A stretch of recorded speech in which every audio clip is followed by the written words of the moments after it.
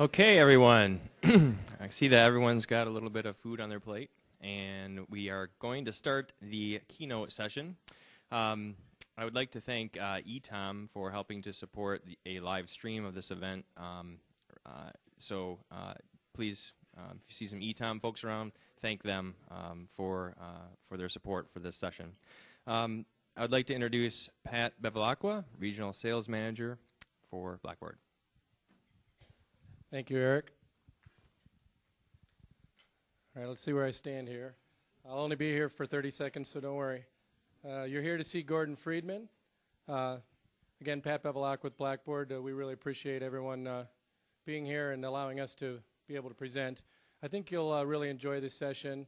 Uh, from the short period of time that I've been able to speak with Gordon, I've been am amazed by his amount of experience in education in general and a lot of higher ed specific background, but uh, I know all of you Michiganders like me will be happy that he is a MSU Spartan grad and uh, former resident of Charlevoix. Uh, just a little bit about Gordon. Gordon is our Vice President of Education Strategy. I'll let Gordon go into his background and tell you a little bit about how long he's been with Blackboard and what he brings for all of you. Some of the things I do want to let you know is if you're familiar with Prometheus, uh, that Blackboard acquired in the past. Gordon worked for that organization, has a huge foundation in working with higher education, uh, publishers. Uh, he had a consulting company of his own and has done a lot of work there as well with educators, uh, whether at a K-12 level, a secondary, post-secondary, and even at uh, state and Department of Education levels. Uh, Gordon studies the industry. He consults with many companies and partners about course management and other things that impact an institution well beyond course management. And at Blackboard, he's told me that he's the advocate for you within Blackboard. He wants to understand your needs that go well beyond what Blackboard does and what your campus needs are. And he wants to convey that to management so that we can continue to innovate and offer more value to you. So with that, I'm going to go ahead and let uh, you speak with Gordon Freedman. Thank you, Pat. Oh, you don't need that, do you? I'll get rid of that. Okay, can people hear me? In the back? Okay, good. All right, so I live in California now. I grew up in Charlevoix and just couldn't afford to live in Traverse City or Charlevoix anymore. And, um, but I'm happy to be back here for a particular reason. Um, politics in our state is a little bit crazy right now. So you got the Terminator as the governor, and I don't know if you've heard this or not. Warren Beatty has been shadowing him um, and going around to different places where, where he's been speaking and not getting in.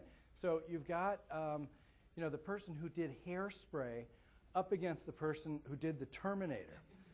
Okay, and that's not the end of it. Um, you know, it looks like Rob Reiner is getting ready to enter the race and possibly run. So you've got Meathead um, going against Hairspray and the Terminator.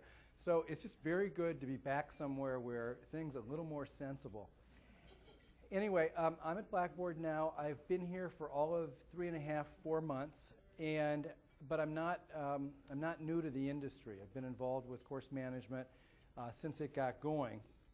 This thing works. So when Pat said I was an advocate on the inside, I started bothering Matthew Pittinsky about six, eight months ago and said, Matthew, what are you going to do with all this money that you raised by going public? Um, I'm a consultant, you know, give me a little extra work. And little did I know what they were planning to do with that money.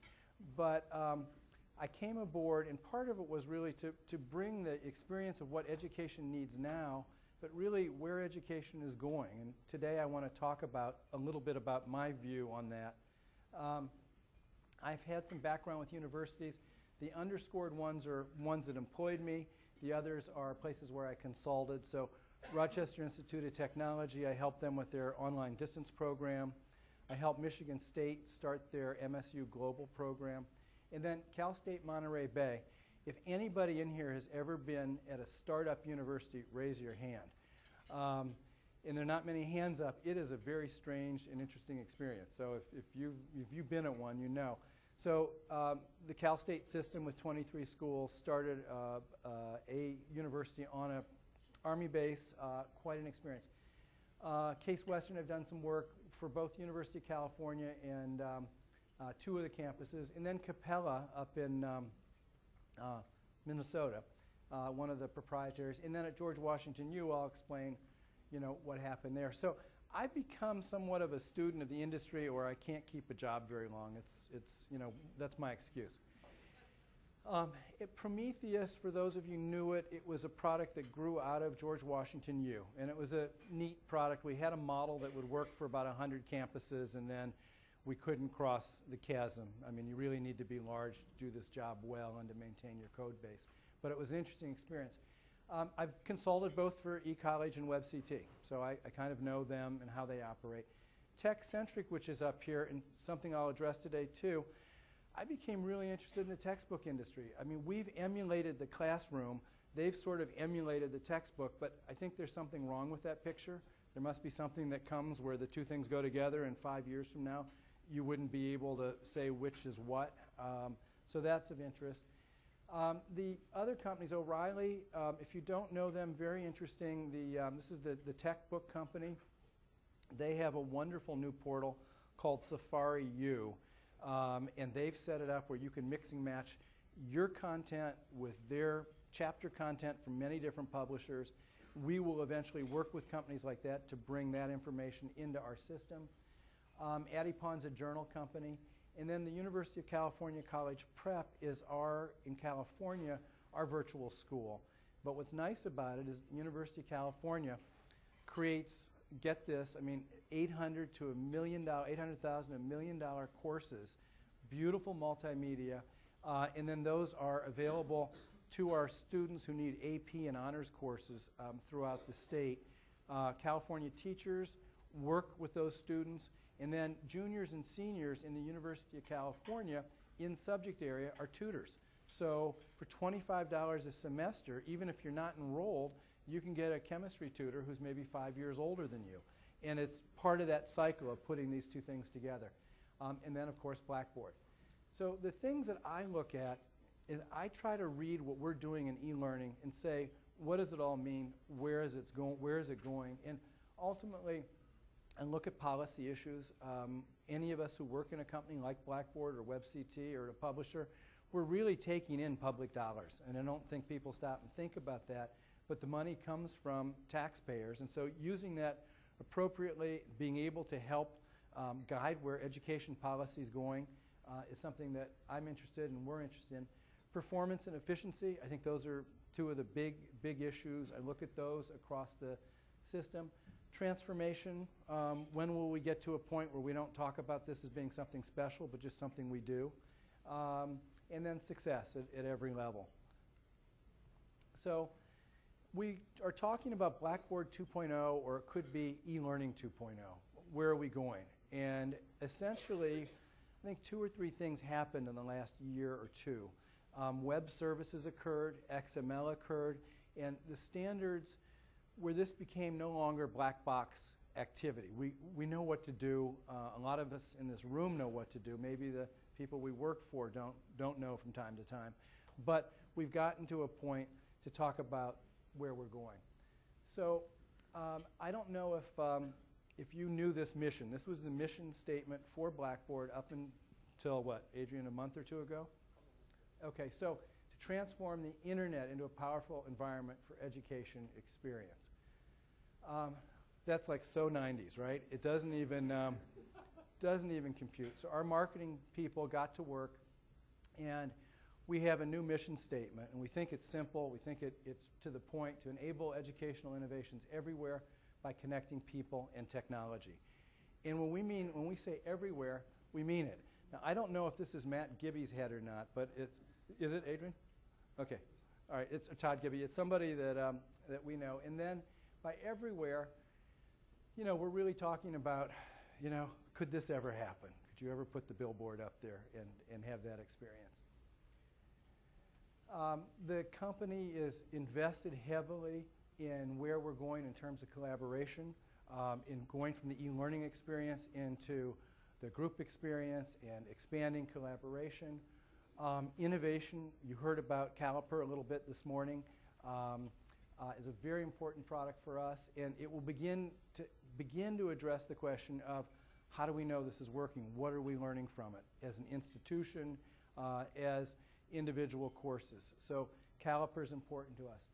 Uh, with the backpack, uh, another innovation where we're taking uh, and making what you do uh, online mobile so it can be disconnected. These we think are important pieces of the puzzle, and we'll keep working on them. Um, where is it all going? And, and this is again maybe more of an overview uh, perspective, but the things that we do now, you know, are all familiar to us. And I think as we get down to learning objects and content repositories and e-portfolios, those are things we're grappling with now. I was with a group of CIOs recently, and they said, where are we going to put this stuff for the next 50 years?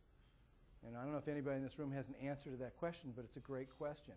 On e-portfolio, something that we're working on, how do we make that e-portfolio be permanent? Does it ever become something that the student uh, owns at some level? So there, and will that become systematized? Uh, so there are questions like that. Learning objects, I think we're all grappling with. Our content system was a, a reaction to that, and I think a good one. So what's next? Some of these things don't even look like e-learning, but from the institution's point of view, they're pretty important. Security is huge. It's every survey at the CIO level, it's the most important thing. Uh, if the system goes down, if somebody hacks it. Um, I heard a terrible story out of Tulane in, uh, in New Orleans, and that was that they luckily backed up everything on tape. And I don't know if you've heard this story. And so they felt rest, you know, they were resting assured that they had the whole campus infrastructure, their Blackboard instance taken care of. The authorities would not let them back in after the flooding started to rescue the tapes. So, you know, in one fell swoop, it was all gone. So we, those are things that are very, very important. Compliance, I don't know if anybody here has heard what happened to the president of American University who had a little extra spending. Um, we're in a Sarbanes-Oxley world where not only the um, corporate CEOs are being watched very carefully, but, but institutional uh, hierarchies are as well. So uh, that's an issue. And these things don't look like e-learning, but in a way they've grown from the e-learning world to the e-world that we exist in. Um, iPortfolios, the assessment um, uh, capabilities to have an institutional portfolio that the accreditation agencies can look for. I don't know about here um, in Middle States, but in California, our creditors want to see a continual record of what's going on. So they're requiring the management and administration at universities to keep something like that. Um, and so that's going to be a growing area you'll hear something about.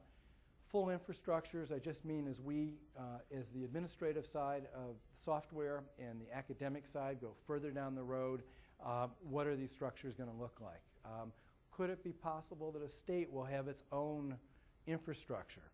Um, I can see in K-12, for example, where you could put the state's curriculum up online and then do everything from just use it to do some homework with all the way to the other end where you might have a full online learning program like, um, like Michigan Virtual here. Uh, policy K-20, um, there, there are pockets of it, uh, usually generally right outside the university. You'll see some action between campus and schools, but again, in an e-world, um, we're having so much trouble with remediating kids, which I assume that you go through here. You get the students in for math and for English. Um, do we prepare them ahead of time? Do we say if you want to go to one of our universities, we want we don't want your diploma. We want to know that you can test into this area and you're not going to pull down faculty time doing something that your high school should have done for you. So that's a policy issue. It's a K-20 issue. Um, is it our issue in this room?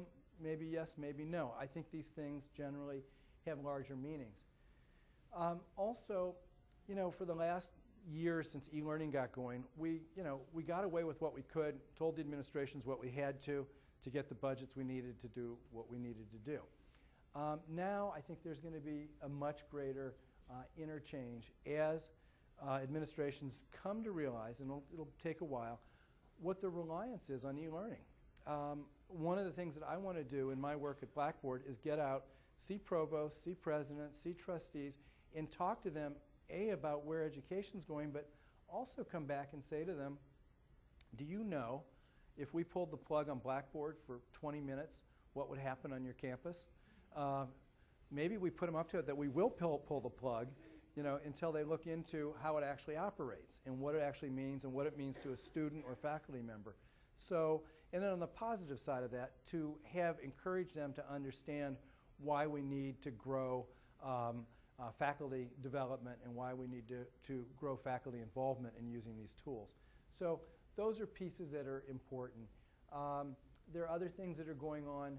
Uh, content management on the campus is going to be another big issue.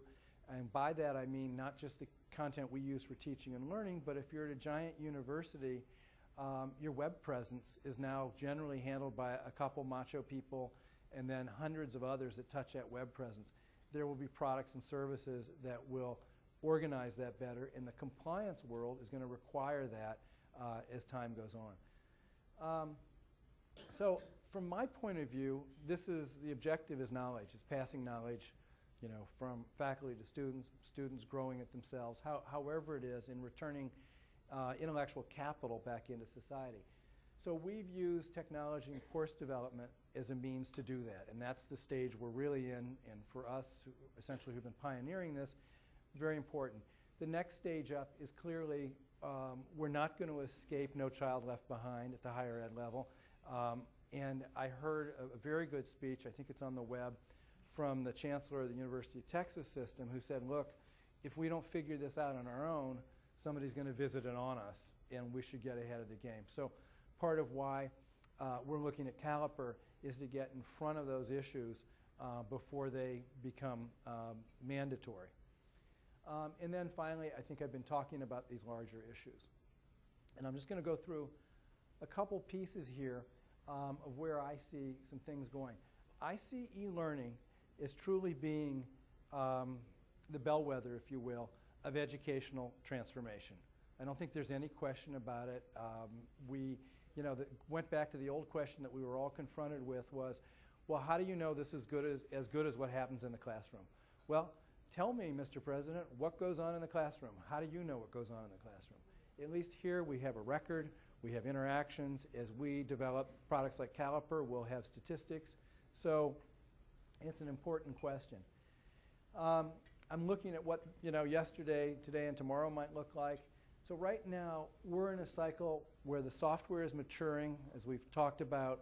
Um, it's getting more standardized. It's not so much a black box. So the next question up then is what, are, what institutional objectives are being handled? And as, as, as the troops in the foreground go out and do what they're doing, you know, are the generals in the back room supporting that? And if so, to what ends?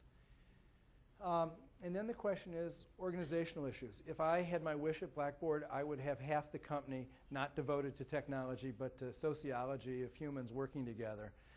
Because I think, you know, in an odd sort of way, technology, when it works well, points out, you know, how bad we are at working with each other. So it's, um, and I'll, I'll even drill into this a little bit. So moving from the technical to the human. So the leadership, you all know when you have good leadership around technology and e-learning, it makes a big difference. And you can maybe accomplish that in one, uh, in one institution.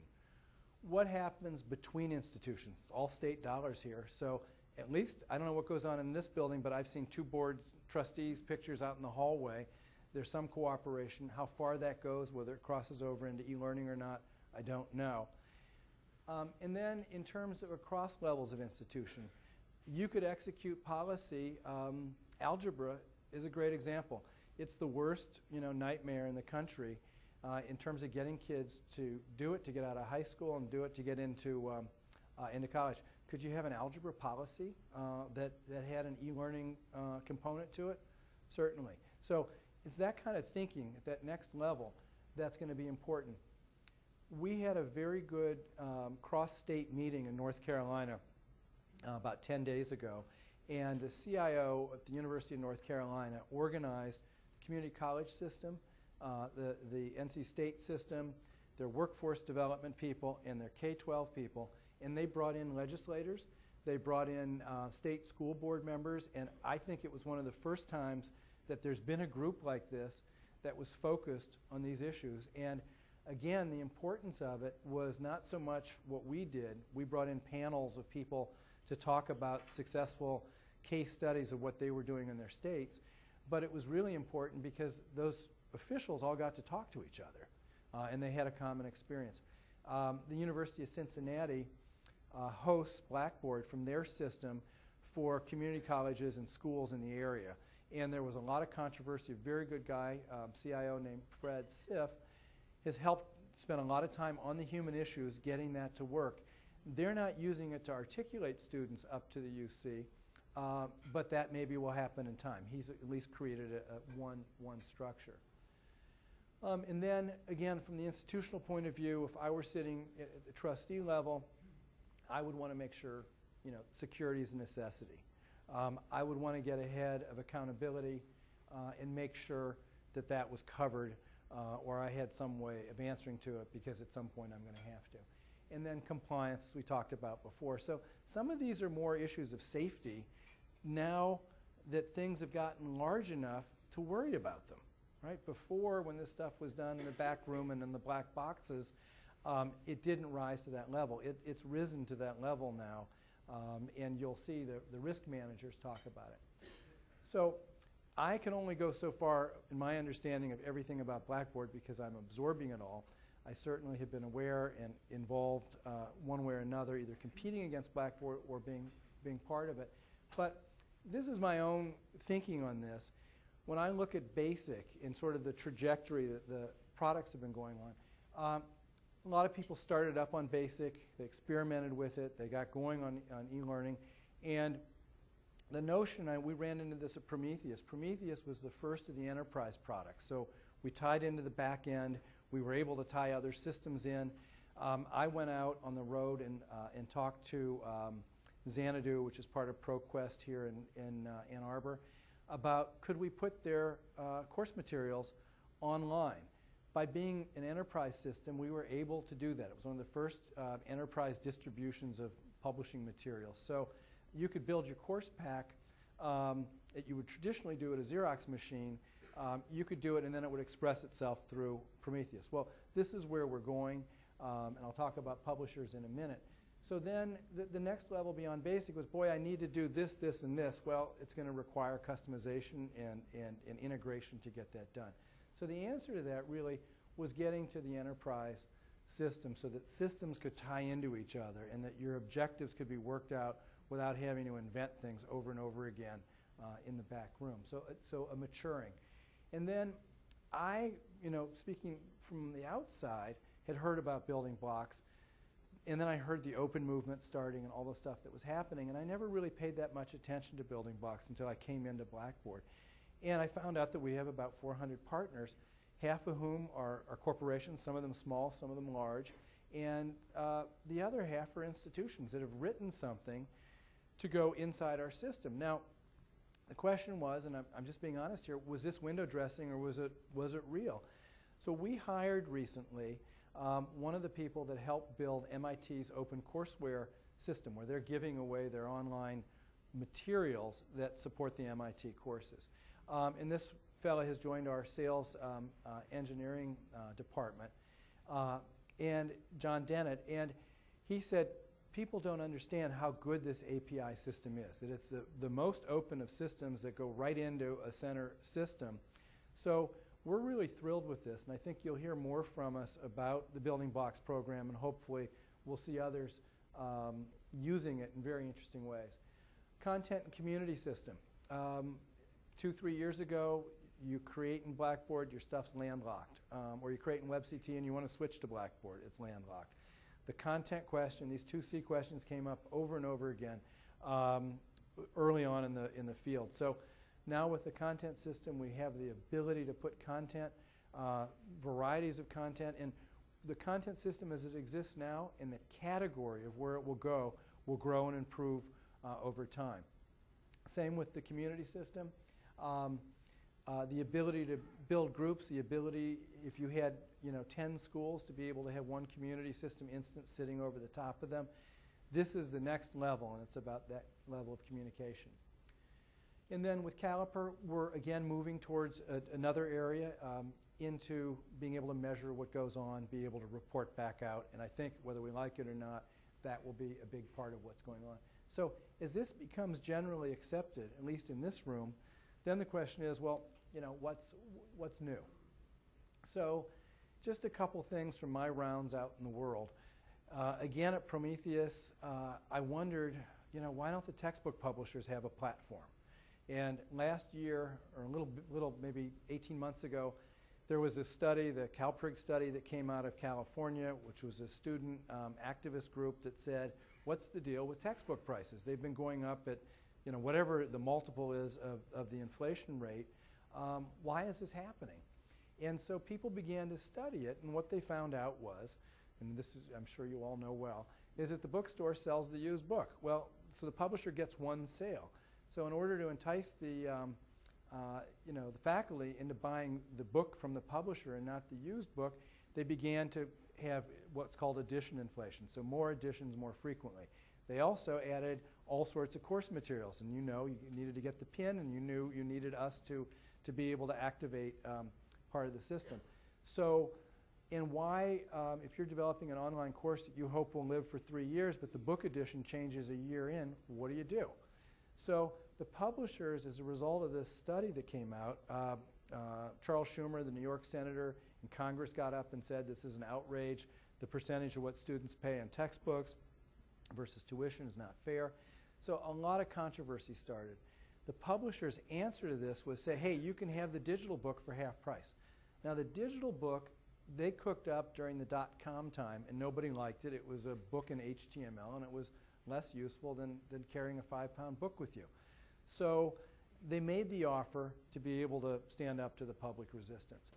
Um, but they began to hear what was happening, and they began to look at the numbers in e learning. And so the publishers now are working uh, to look at what's next for them. And I think you're going to find in the next six months that there's going to be talk about what they're doing digitally. So Pearson, I know, is gearing up in a large way. Thomson and McGraw are looking at it. They used to play at this, the same people that would make the CD-ROMs in, in their individual websites. They've now actually, each one of them brought on very powerful people. Um, for example, at McGraw, the person that developed Standard & Poor's Online uh, is now coming into the central online part of McGraw to figure out what, what the digital text world will look like. Will it be an emulation of a book? Will it be that the content's in a repository and you can populate Blackboard with it as you wish? Um, those are all open questions. What will they charge you for it? How will that work? We're not sure. Um, Michigan Virtual and the virtual school movement came from uh, when, when, if we remember four or five years ago, when states actually had surpluses in their treasuries, um, every governor worth uh, his or her salt went out and started a virtual school because they knew that um, e-learning equaled e-politics. You could reach into the barrio in Los Angeles. You could reach into the soccer mom uh, who's, uh, who's on faculty at Stanford. So um, they all started. We have 22 of them now. And an interesting thing happened. There was an organization formed called NACOL, N-A-C-O-L dot org. It's a North American Council for Online Learning. That's now headed by Susan Patrick, who worked in the Department of Education, U.S. Department of Education, as the Ed Tech uh, director. And so we just had a conference of the virtual schools. They're going strong. Um, Florida has the strongest. They serve 50,000 students who, if you decide that you've had it with your algebra teacher, it's a phone call in Florida and you're online with a, with a Florida virtual teacher. Now, 50,000 is a giant number in anybody's e-learning, you know, business, but it's not a giant number in terms of all the, all the students in, uh, in Florida. But there are models there of where things are going. Um, Illinois has a pretty good virtual school as well. Uh, there are a number of them across the country. So that's an important thing. I mentioned K-20 again. Um, we think that higher education needs to play a role uh, in what happens in high school. Uh, and there, we know anybody who's got a senior in high school who's halfway um, smart, you know that they're either goofing off right now um, or just pedaling until they go to college. So we need that to go away uh, in some way, shape, or form. On legislatures, I mentioned before, we need, to, we need to all carry the word up about what's happening. Um, and then this idea that there could be a state infrastructure. I think at some point, one state or another will begin to take their high-speed networks, which generally don't talk to their universities and community colleges except for bandwidth, uh, and begin to execute policy over them. And that's, there are about half the states have high-speed networks. none of them um, really coordinate well. Um, Washington has a very interesting thing called the Digital Learning Commons that's gone up and getting more popular. Um, they distrib- distribute all sorts of things through it. So, anyway, um, as you heard from um, uh, from others, we're growing our solution set. Just a couple things here. Again, this is my learning curve. When I began to see the academic suite and what was contained in it, um, it began to give me a fuller sense of how we're going to handle education at many different levels, and we're going to create community um, activity. What I didn't really know about, um, and I think some people in the room have the um, Commerce Suite, uh, is what we're doing on that side. So the students, and I think this campus has it, um, who are using the transaction system and have the ID cards, well, where will that lead us in time? Um, right now, we're not collecting those individual PIN numbers at a, at a global level, but as you hear about identity management, is it possible that we'd pick up a Blackboard student in high school? And I don't know if you've heard this before, but uh, a student that goes to a Blackboard high school generally asks the question at some point, well, gee, when I go to college, do any of those colleges have Blackboard?